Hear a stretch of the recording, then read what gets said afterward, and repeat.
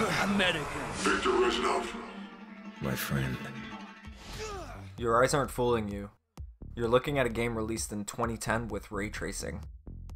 What if I told you that this can be done in almost any game?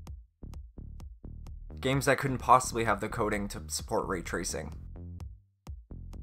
What about Breath of the Wild?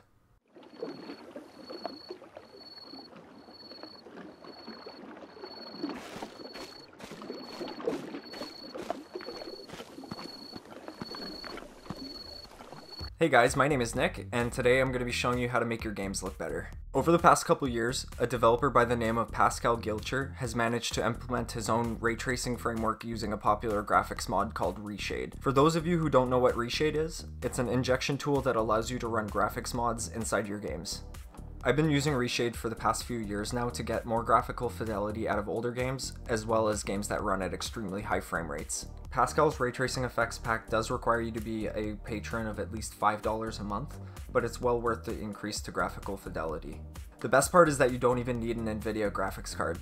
This implementation doesn't utilize the tensor cores in your RTX graphics cards, but instead uses raw horsepower from your GPU to render the effects. You might be asking what might prevent a game from being able to use these effects. It basically comes down to how the game's engine is able to handle post-processing effects. Remember when I said that this program uses injection? That means it injects extra code into the program, which makes you run the risk of getting banned in certain esports titles and games that use anti-cheat software like Easy Anti-Cheat. If the game you want to mod is running at least DirectX 9 or Vulkan and the developers haven't purposely disabled or banned DLL injection, you're pretty much good to go. Links to all the required software are provided below, so let's get started with the tutorial. Start by opening the Reshade program you downloaded and selecting your game either from the list or using the browser if you can't find the one you're looking for. Select the API that the game is running, and then choose all the effects packs you'd like to use. I'll be sticking with the first eight in the list, but feel free to experiment with what's available. Click through the prompts to install the chosen packs until the installation process is done.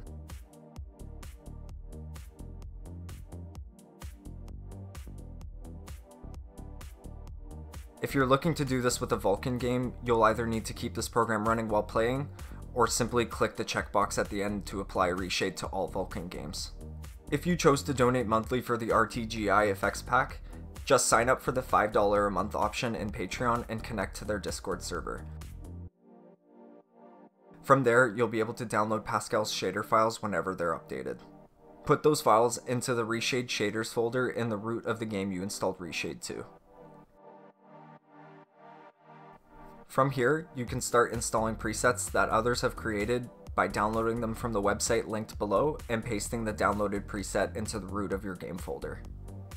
If you'd like to make your own presets and you don't know where to start, keep watching and I'll show you some simple effects that'll make your game look great. I'm going to break this section down into 7 parts, starting with simple effects and ending with ray tracing and lighting tweaks. The first is sharpening. There are quite a few different options when it comes to sharpening, but I primarily stick to the Delk sharpening effect. You can see immediately after enabling this effect, textures on your character's hands and the scenery in the background really start to pop, a little too much in my opinion. Sharpening is definitely an effect that benefits from the less is more approach, and after tweaking the setting to around 0.400, you can see that the texture detail is improved, while not giving everything on screen a grainy look. The next effect is anti-aliasing. Right from the start, you can tell that 10 years later, Call of Duty Black Ops is looking particularly jaggy. I've decided to turn off the native anti-aliasing inside the game, and have chosen instead to use a post-process FXAA effect. This will allow us to save some FPS, but more importantly, to preserve the depth map inside the game. This will make a little more sense once we get to the ray tracing section. When zoomed in, you can see that the FXAA shader vastly improves on the stability and the fidelity of the image. Now we'll move on to color correction, and I'm sorry if YouTube compression makes this part a little hard to see. This effect is pretty taxing when you layer it in with other effects, but it manages to completely remove the green and yellow haze that takes up the entire screen. It does remove a bit of saturation as well, but we'll be turning up the corrected colors with the next effect, Vibrance. The effect I decided to use for this preset is the Pirate Vibrance effect. This is another effect that I strongly recommend using less of, because if you raise it too high, it'll start blowing out all the colors on screen.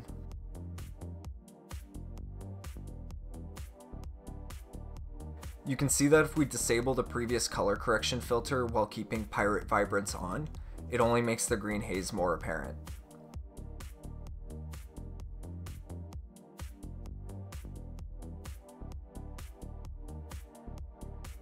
Now onto ray tracing. If you didn't end up subscribing to Pascal's Patreon, feel free to skip this section. Let's go back to anti-aliasing and why I decided to turn it off for Black Ops. A lot of games that use MSAA, like Black Ops 1, will overwrite the depth buffer in the game. This means that any effects that rely on the depth buffer, like ray tracing, ambient occlusion, or depth of field, will not work with MSAA enabled. The easiest way to check if the game you're running has a compatible depth buffer, just enable the display depth effect inside Reshade. Now, turn on the RTGI effect you'll see that everything on the screen immediately gets covered in shadows.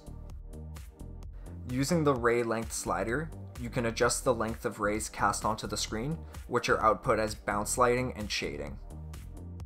The ray amount setting is exactly what it says, how many rays are used in the shader. This setting is what will affect your frame rate most, and typically anything over 6 should be reserved for screenshots as the quality increase isn't worth the performance hit. Steps per ray is similar to the ray length setting, but controls how much the scene around shaded objects are affected.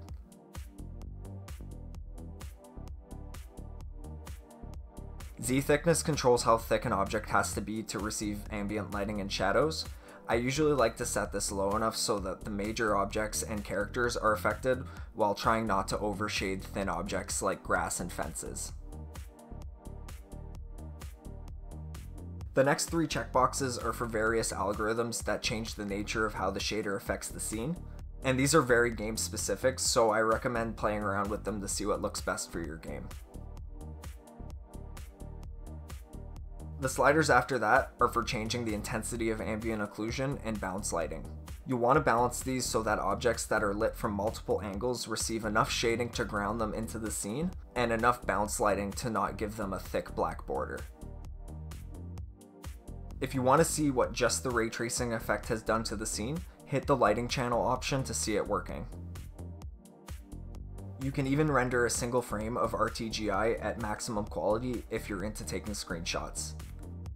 Don't be afraid of going back and further tweaking the settings to get the exact image you're looking for. Here's a quick clip of the effect giving objects on this table shadows when none were there beforehand.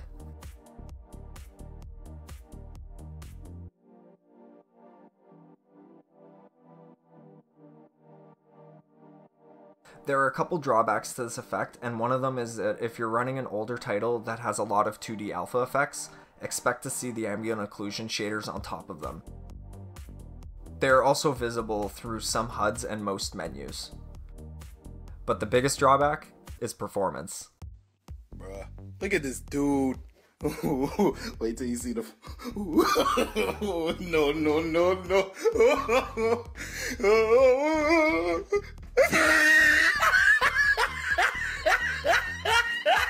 Finally, we have tone mapping and HDR.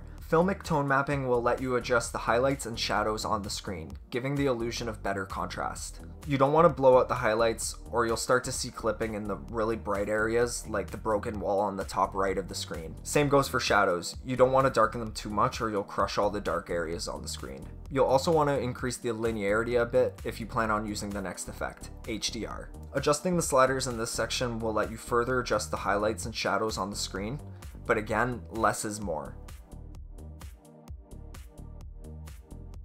Okay, that was the final effect we're adding to the game, so let's see how it turned out. With the preset off, everything has sort of a fuzzy look to it, and pretty much every pixel is visible on screen. With all the effects on, you can see the overall aesthetic of the image is vastly improved, giving more depth and ambience to the scene.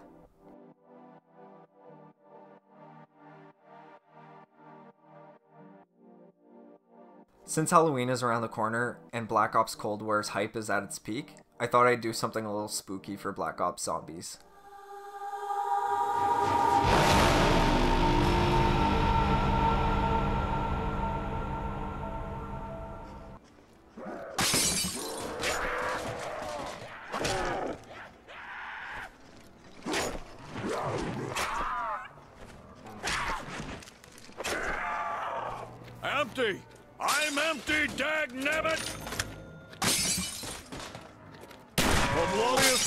In history involve buttercups and dummies.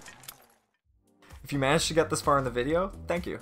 Let me know in the comments below what game you think would benefit most from this graphics mod. If you're new to the channel and you'd like to see more content like this, hit the subscribe button as well as the notification bell to make sure that you stay up to date.